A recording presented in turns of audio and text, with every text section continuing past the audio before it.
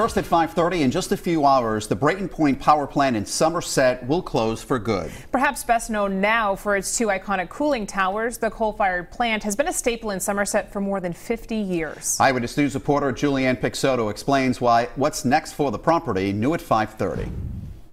Brayton Point Power Plant has long been considered one of the dirtiest power plants in Massachusetts. While many environmentalists are celebrating its closing, the town administrator says it's unfortunate. Since 1963, Brayton Point has supplied power to hundreds of thousands of New England homes. We have an identity as being a community that generates power for the region, and we have used that power to generate revenue for our community.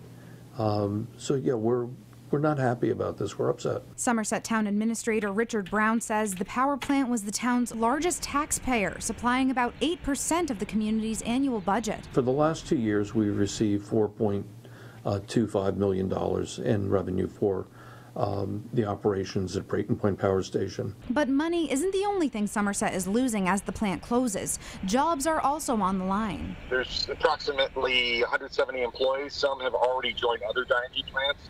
Others are currently interviewing for other Dynegy positions. Several have already moved on to other companies, and others have accepted a voluntary severance package offered by Dynegy. Energy company Dynegy has owned the plant for just over two years. Now the company is looking to sell. No immediate plans for the Brayton Point site. We'll continue to listen to interested parties. We're looking to you know, work with Dynegy um, and their folks to, you know, find a new um, use for the facility. So I think we're going to weather the storm.